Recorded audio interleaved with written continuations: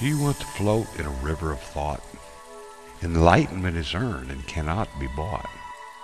To be humble and accept humility, you have to give more than you receive. Do you want to swim in a pool of light? Dive into a shimmer that glows bright white, inhaling the warm, sweet air of life, replacing the darkness with endless sight. Do you sail oceans calm and deep? The sun and the stars are yours to keep. Time winds blow and fill your sails. You chart a course that never fails. Do you want to live forever? Know the ways to make life better? Expand your mind, understand your soul. For you, the secrets that make you whole. Do you ask, what can I do?